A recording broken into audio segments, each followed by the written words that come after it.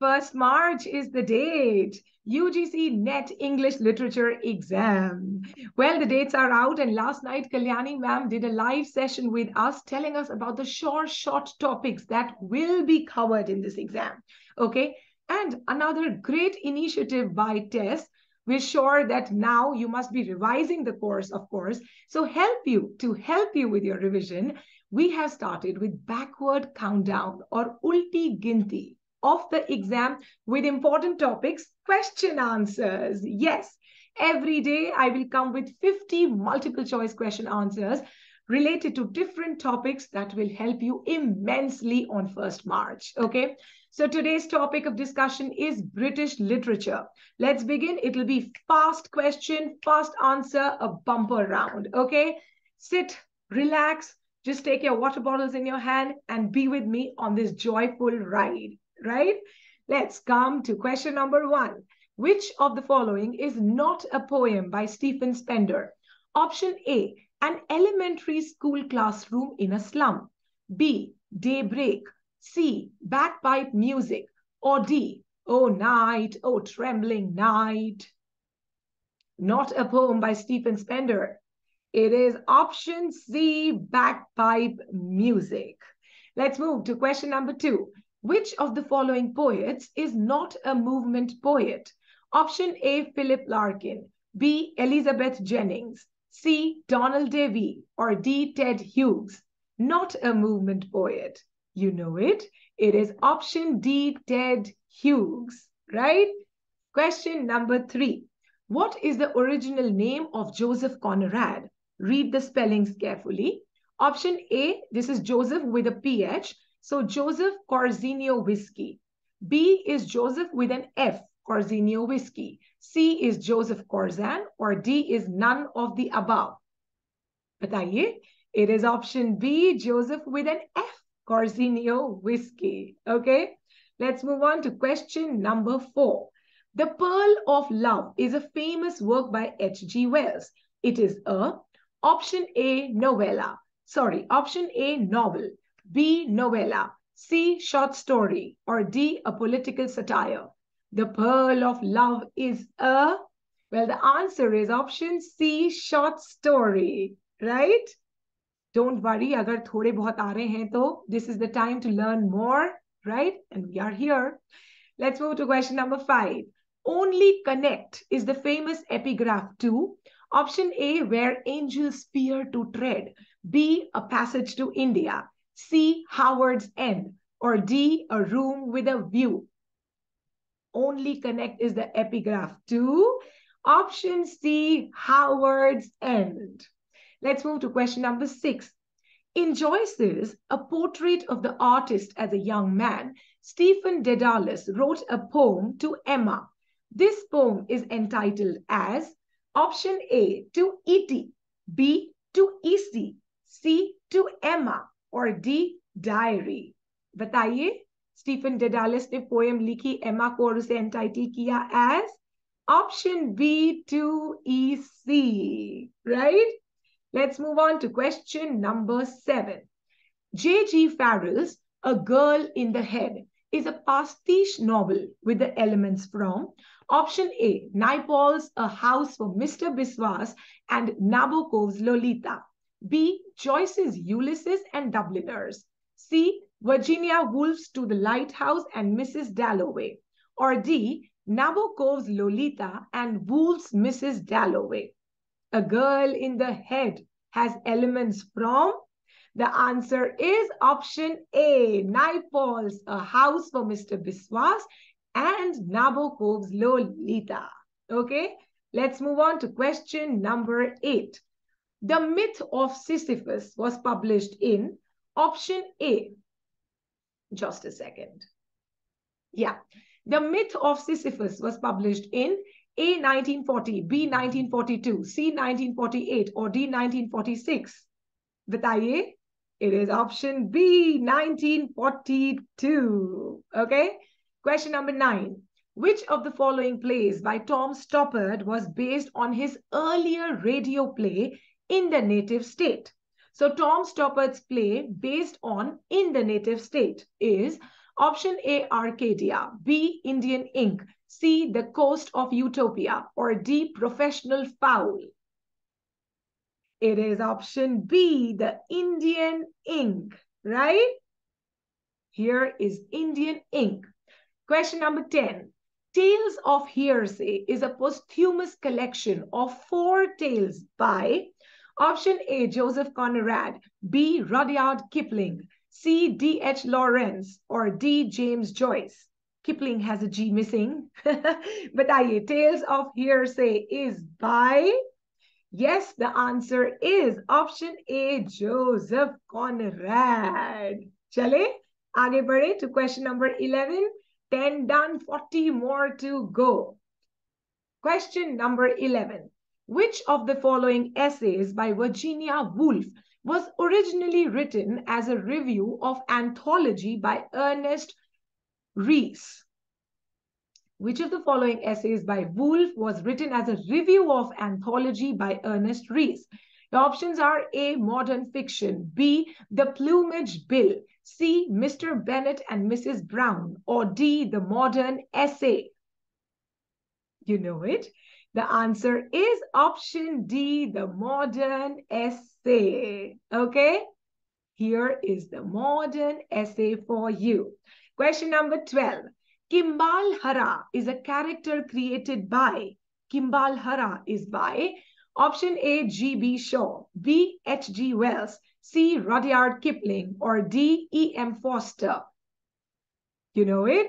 It is option C, Rudyard Kipling, right? Chale, question number 13 ki taraf. Which of the following characters do not appear in E.M. Forster's A Passage to India? Do not appear in A Passage to India. Option A, Lucy Honeychurch. B, Dr. Aziz. C. Professor Godbole, or D. Mrs. Moore? Who is it? It is option A, Lucy. Lucy does not come in a passage to India. Let's move on. Question number 14. Which war poet has written the poems Futility, Dolce e Decorum Est, and the Parable of the Old Men and the Young? Who has written these? Option A, Rupert Brooke. B, Siegfried Sassoon. C, Wilfred Owen or D. Isaac Rosenberg. Who has written it? Well, it is option C, Wilfred Sassoon. Okay, let's move on to question number 15. Which novel by the famous author Ian McEwan was made into an Oscar-winning film? Your options are A, Atonement, B, Amsterdam, C, Saturday, or D, Sweet Tooth. Which movie made into a, sorry, which novel made into a film written by Ian McEwan? The answer is option A, Atonement. Okay, let's move on to question number 16. Who published his crime fiction under the pen name Dan Kavanagh? Your options are A. John Banville, B. John Wain, C. John Braine, or D. Julian Barnes. Tell me, pen name Dan Kavanagh. You know it? It is the pen name of Julian Barnes. Cool? Let's move on to question number 17. In which of the following novels, each chapter begins with an epigraph? The first one taken from The Riddle by Thomas Hardy. Okay. Option A, The French Lieutenant's Woman. B, The Wind from Nowhere. C, Empire of the Sun, or D, A Maggot? Tell me, tell me, which of the novel? Well, the answer is option A, The French Lieutenant Woman. Okay, this takes us to question number 18. Please do not worry, even if you know a little bit, it's okay. At least you're learning right now. This is not the day of your exam. This is the day of revision. Question number 18. Which of the following novels by Iris Murdoch is the story of Marian Taylor, a governess in a remote castle, learns that her employer Hannah is a prisoner in the castle and a symbol of persecuted virtue. So basically, a novel by Iris, which tells us the story of Marianne Taylor. The options are A, the sandcastle, B, the unicorn, C, the sea, the sea, or D, the black prince? Tell me, do you know it? Yes, you do. It is option B, the unicorn. Question number 19. Which of the following is not a novel in the Malayan trilogy by Anthony Burgess? Option A, Time for a Tiger. B, Enemy in the Blanket. C, The Brass Butterfly. Or D, Beds in the East. Which is not a part of the trilogy? The answer is option C, the brass butterfly. Okay, let's move on to question number 20. Oceania, Eurasia, and Dash are the three superpowers mentioned in the novel 1984. Which, which is this Dash, the third superpower mentioned in 1984? Option A, East Asia, B, Eurasia, C, West Asia, or D, Asiana? Tell me, do you know it? It is Oceania, Eurasia, and East Asia. So the answer is option A, East Asia. Question number 21. Which of the following novels by George Orwell is about his experiences as a volunteer with the Republican Army during the Spanish Civil War? So George Orwell is talking about his time in the war during the Spanish Civil War in which of the novels? The options are A, The Road to Wigan Pier, B, Homage to Catalonia, C, Coming Up for Air, or D, Burmese Days. Tell me. It is option B, Homage to Catalonia. Okay, easy. This takes us to question number 21. Who wrote the play A Mouthful of Birds in 1986? An experiment with dance theater incorporating techniques developed by Antonin Artaud in his Theater of Cruelty. Just tell me who wrote A Mouthful of Birds. That will be enough. Your options are A. Peter Barnes, B. Caryl Churchill, C. Angela Carter, or D. Tom Stoppard?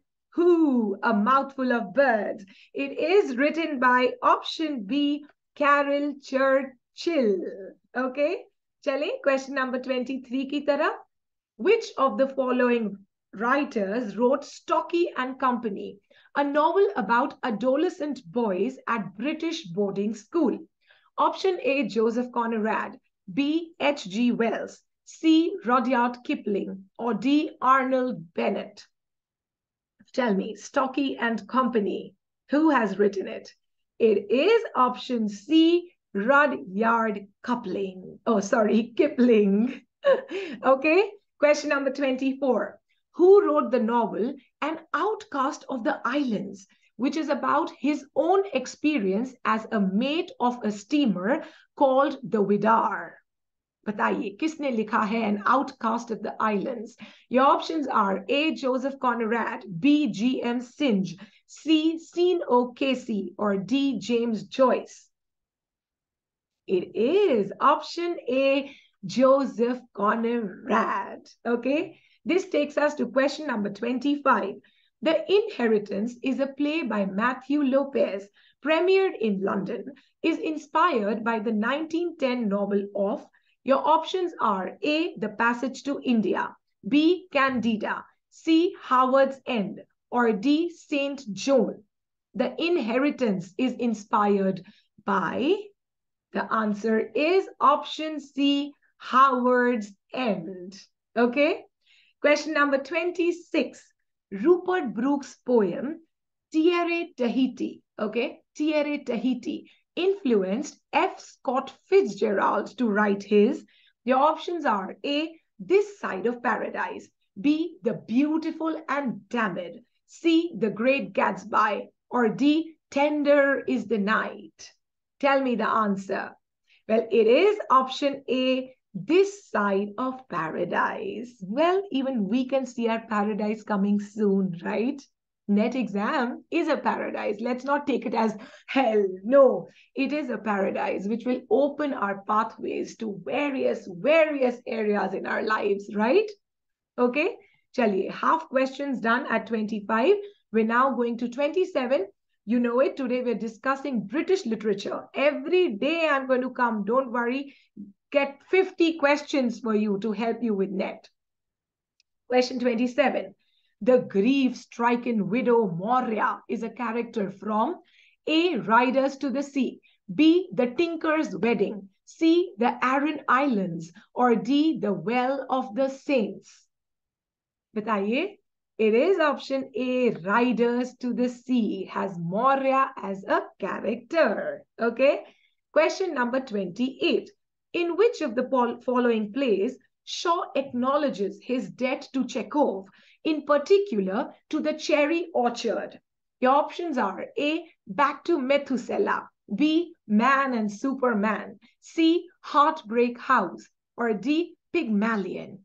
Say, Shaw is acknowledging his debt to Chekhov in this play? Well, the answer is option C, Heartbreak House. Heartbreak House. Let's move on to question number 29.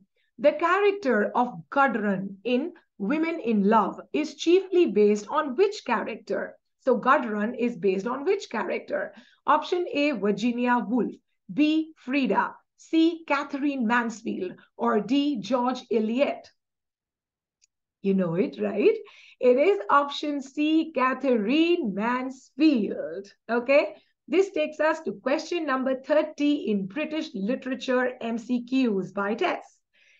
Loser Takes All is a 1955 novella by option A, Graham Greene, B, G.B. Shaw, C, Arnold Bennett, or D, Evelyn Waugh.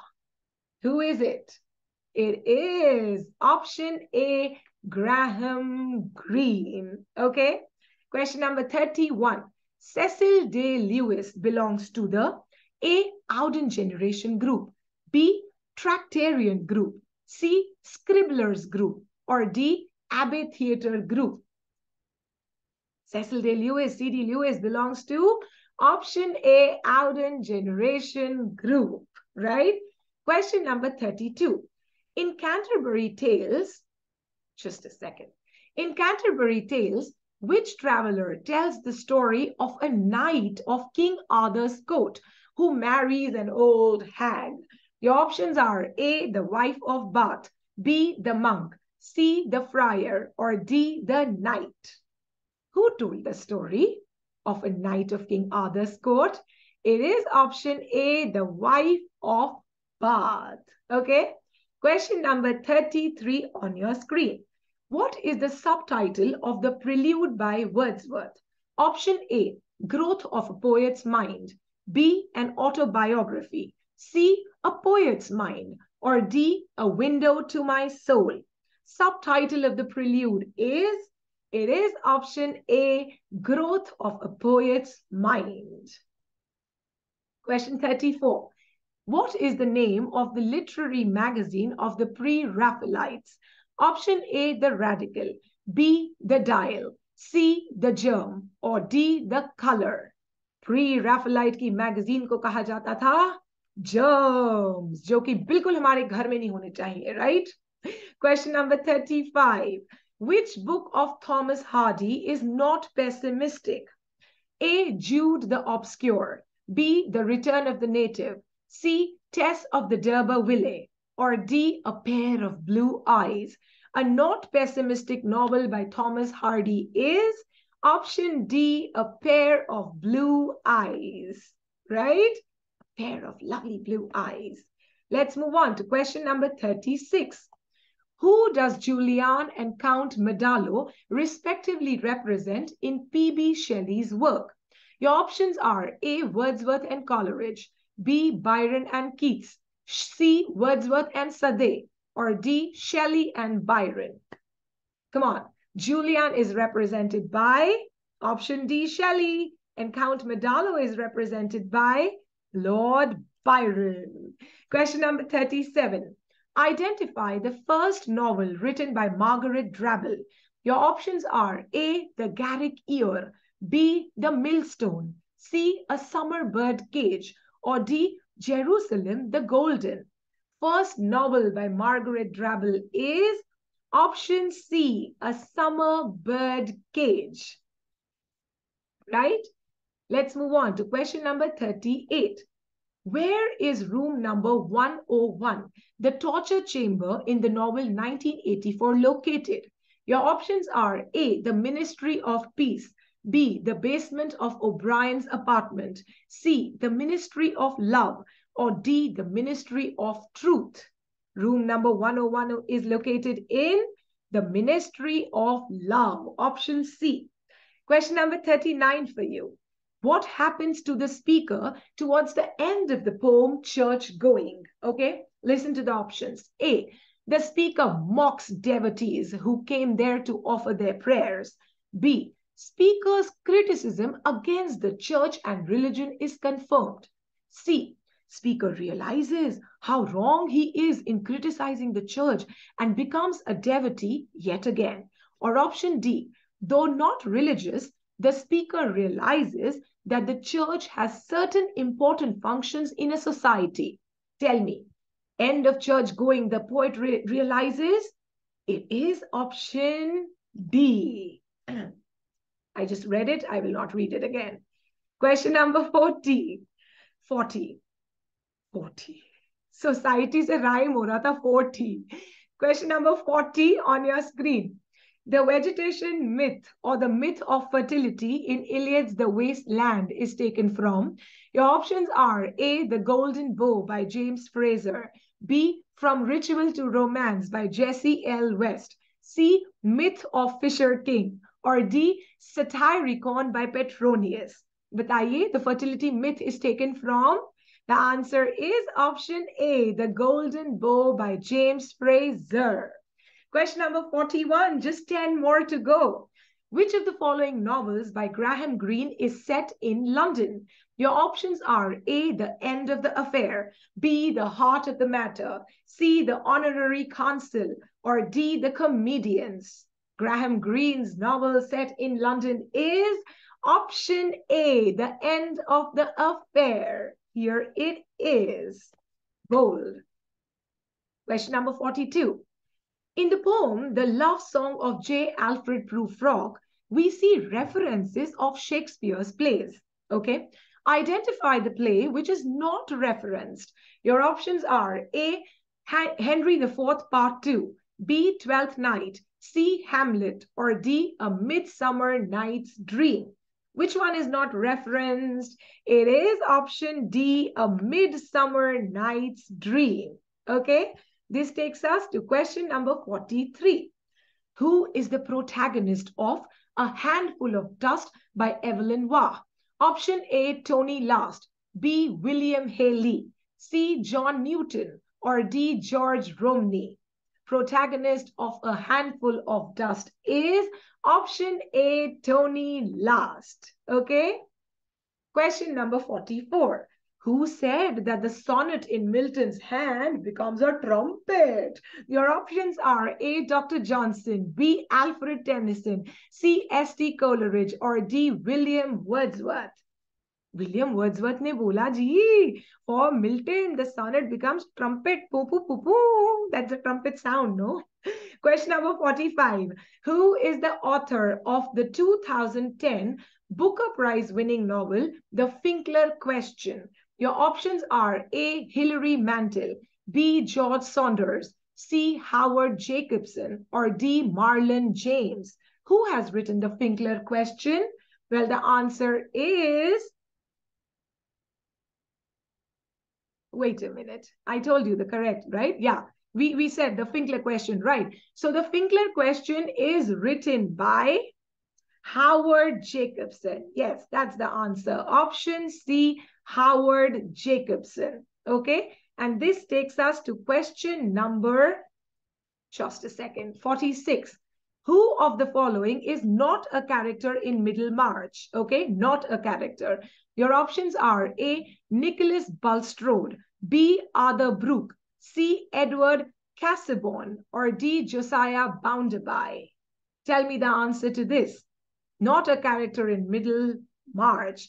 The answer is option D, Josiah Bounderby. Okay, this takes us to Question number 47.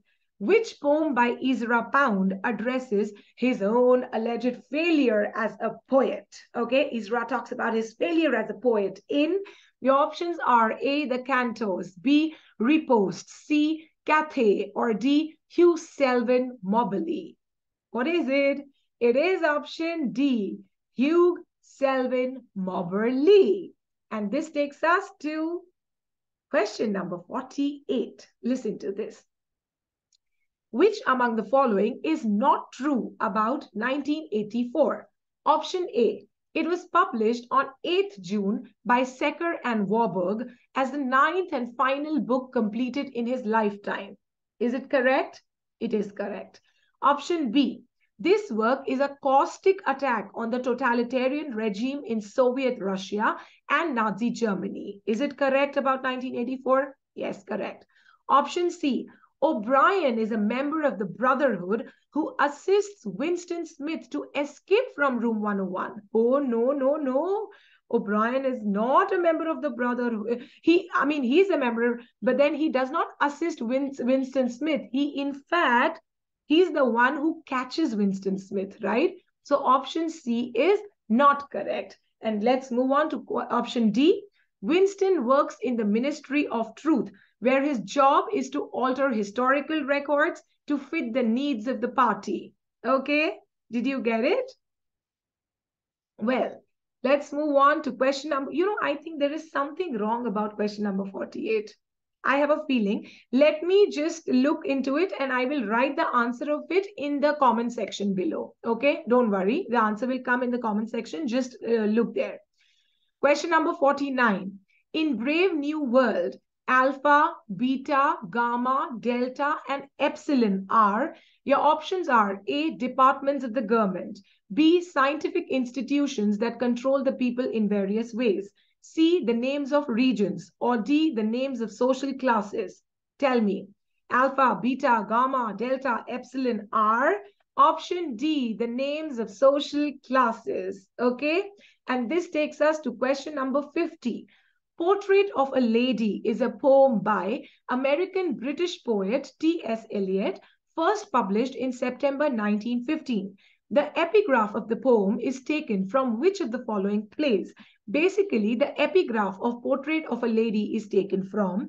Your options are A. Dr. Faustus, B. The Tempest, C. The Jew of Malta, or D. Paradise Lost. Come on, you know it, right? It is option C the Jew of Malta. And we are done with today's 50 questions of British literature. Read around them, of course, do your own research, and whatever you have done till now, keep on revising. It will help you. And do not stress, it will take you nowhere. Just enjoy, relax, be in the moment, and you will do it.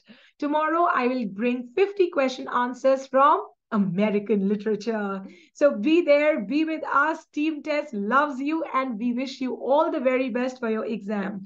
Thank you so much. Bye bye. Have a lovely day.